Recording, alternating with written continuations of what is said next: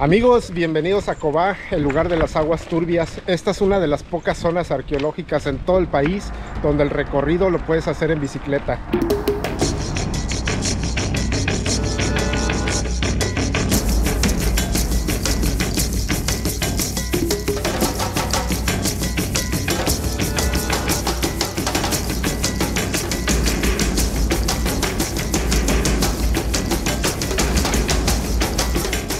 Amigos, Cobá constituyó uno de los asentamientos más grandes de todo el mundo maya. Aproximadamente se construyó en alrededor de 75 kilómetros y su asentamiento lo hizo alrededor de cinco lagunas que existen en este sitio. Eso les permitió crear las habilidades suficientes para la subsistencia en este sitio. Si algo se caracteriza por Cobá son sus estructuras. Si se dan cuenta es una estructura ovalada, circular, muy peculiar, que no es muy común y realmente eso es lo que hace de Cobá una zona increíble. Amigos, estamos en una de las atracciones principales de Cobá. Estamos en el Nojoshmul.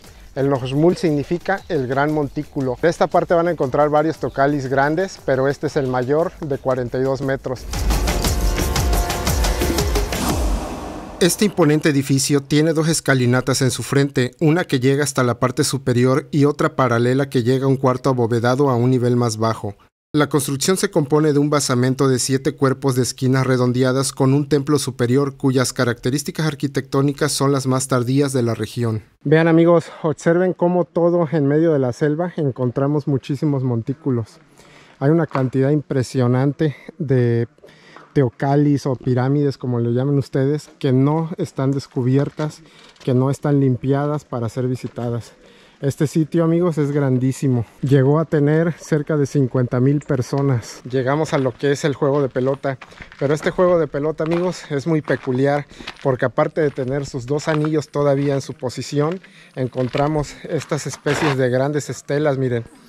Estos, estas estelas eh, es como los emojis, amigos, para términos prácticos, ¿no? Ellos dejaron símbolos y cada símbolo simboliza algo. Igual acá encontramos otra y de este lado encontramos otro tallado también increíble que al parecer eh, puede ser como una persona, como un jaguar. Observen ustedes, vean. Y ahí encontramos los anillos, aún los anillos están en su lugar original. Y vean, estos no son anillos volados, son anillos que forman parte de la estructura. Este sitio, amigos, pues es, muy, muy bonito. Encontramos también estas especies eh, de figuras. Aquí encontramos una calavera, observen. Están protegidas. Lo, que me llama la atención es que estén en la esplanada de donde era el juego de pelota, ¿no? Eh, recordemos eh, que al igual que todas, pues esto nomás es la piedra y falta el estuco con el que estaba recubierto, ¿no? regularmente lo llegaban a pintar de rojo y bueno, pues este es el pequeño juego de pelota de aquí de Cobá, amigos. Ahora vamos a continuar a las siguientes estructuras. Vamos a continuar caminando aquí dentro de la selva. Bien, amigos, pues miren, hemos llegado a otra parte importante. Estamos en el templo conocido como el de las pinturas. Y esto es porque en la parte de arriba aún se conserva pintura original de la cultura maya de aquí de Cobá. Y bueno tiene el azul maya y algunos otros elementos. ¿cómo van a identificar este sitio amigos? pues este sitio tiene un camino que conecta el palacio con este templo de las pinturas.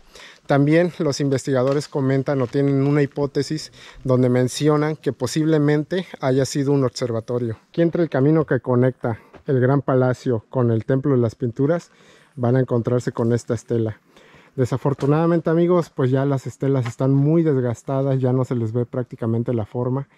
Ah, tendrían que hacer aquí algún tipo de, de, escaneo con algún tipo de tecnología para poder sacar todavía el relieve, ¿no? Pues miren, hemos llegado al palacio. Aquí seguimos viendo las grandes estelas de Cobá, amigos. Eso es lo que caracteriza muchísimo a Cobá, amigos, que dejaron eh, sus libros, digamos, su información, sus leyendas, su escritura, la dejaron plasmada en una cantidad impresionante de estelas. Por donde camines te vas a encontrar estelas aquí en Cobá. Estamos en una parte muy importante. Resulta que estamos caminando en este momento por un B, un camino blanco. Miren, observen, de este lado tenemos laguna y del otro lado también tenemos laguna. Este camino que ustedes ven aquí, amigos, está elevado unos cuantos metros de las lagunas. Los B regularmente estaban elevados. Si queremos hacer una comparación con los tiempos de ahora, hagan de cuenta que esto era como una carretera. Hay un B que sale de aquí de Cobá durante 100 kilómetros transita hasta llegar a un pueblo cercano a Chichén. Estos Akbe eran caminos blancos y como ya les he mencionado en otros videos, se recubría de blanco para que con la luz de la luna se viera perfectamente todo el camino iluminado. Esto lo hacían para transitar de noche porque el calor de la Riviera Maya en el día, amigos, es devastador. Imagínense cargar mercancía de día con este sol, es algo tremendo. Entonces, regularmente los transitaban de noche. Y Isaac ve eh, aquí en toda la región maya, eh, los investigadores comentan que hay muchísimos caminos blancos que hacen conexión entre todas las ciudades. Es una red de carreteras tremendas. Y esto es un B ya está, obviamente ya no está como antes, ya está, ya no tiene mantenimiento, digámoslo así, que está destruido. Pero esto, amigos, es el famoso B blanco. Bien amigos, pues miren, al final de este B vamos a llegar al lugar conocido como Macanchoc, que es un lugar donde existen paneles y existen estelas que tienen fechas registradas y que tienen, eh, cuentan la historia de los gobernantes, ¿no?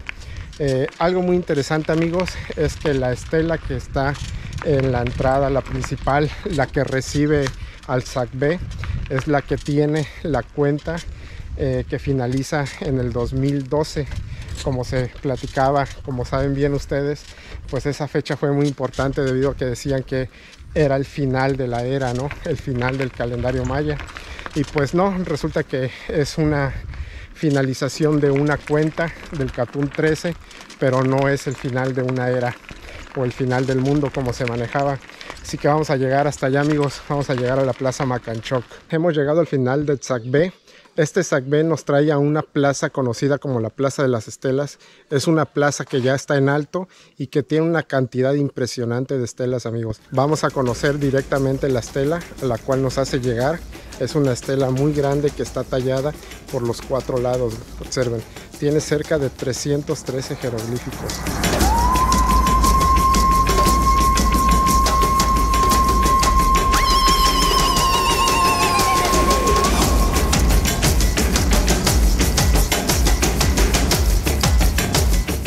Pues bien amigos, hasta aquí la aventura, la aventura en bicicleta aquí en Cobá. Realmente es increíble venir a este sitio. Si lo pueden hacer caminando, háganlo. Eh, son varios kilómetros los que tienen que caminar y si lo hacen en bicicleta, pues mucho mejor para ustedes. No se van a cansar y lo van a disfrutar muchísimo porque todo está bien planito. Así que bien amigos, despedimos este video de Cobá. Cuídense mucho, nos vemos en el siguiente video. Bye.